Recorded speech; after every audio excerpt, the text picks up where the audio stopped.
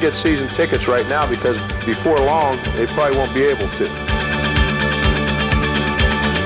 Doubles into the end!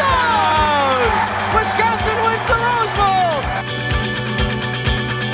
Big Ten champions. Ron Dayne down the left sideline. They are Rose Bowl champions.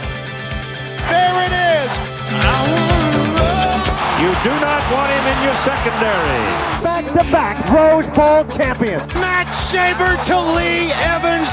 Ball is loose. Badgers have it. The Badgers block the punt. This game is underway with a bang. Once again, Big Ten champions. Ball to the end zone. Touchdown, Wisconsin. It is caught by For the second straight year. The Wisconsin Badgers are headed to Pasadena.